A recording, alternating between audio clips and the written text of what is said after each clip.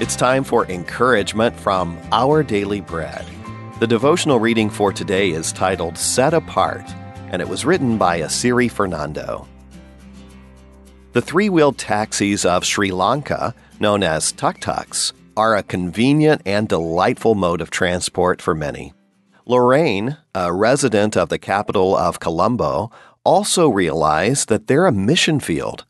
Hopping onto a tuk tuk one day, she found the friendly driver more than happy to engage in conversation about religion. The next time, she told herself, she would talk to the driver about the good news. The book of Romans starts with Paul declaring himself as set apart for the gospel of God. The Greek word for gospel is evangelion, which means good news. Paul was essentially saying that his main purpose was to tell God's good news. What is this good news? Romans 1 3 says that the gospel of God is regarding his Son. The good news is Jesus. It's God who wants to tell the world that Jesus came to save us from sin and death, and he's chosen us to be his mode of communication. What a humbling fact. Sharing the good news is a privilege all believers in Jesus have been given. We've received grace to call others to this faith. God has set us apart to carry the exciting news of the gospel to those around us, whether on tuk tuks or wherever we are.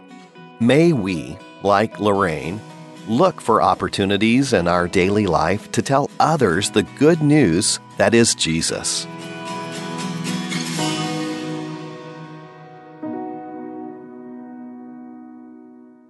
Now, hear the good news from God's Word.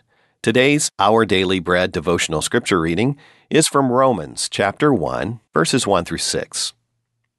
Paul, a servant of Christ Jesus, called to be an apostle and set apart for the gospel of God, the gospel he promised beforehand through his prophets in the Holy Scriptures regarding his Son who, as to his earthly life, was a descendant of David, and who, through the Spirit of holiness, was appointed the Son of God in power by his resurrection from the dead, Jesus Christ our Lord.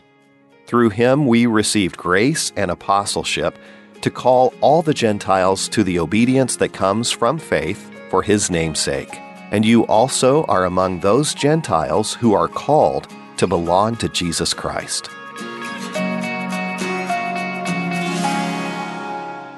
Now let's pray.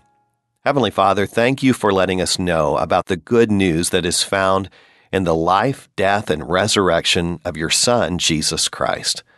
Holy Spirit, give us boldness today to share the gospel with those around us. Let us not be ashamed of the gospel today. And it's in your name that we pray. Amen. Have a great day telling others about the good news of Jesus today. I'm Wes Ward, and this word of encouragement was provided by our Daily Bread Ministries.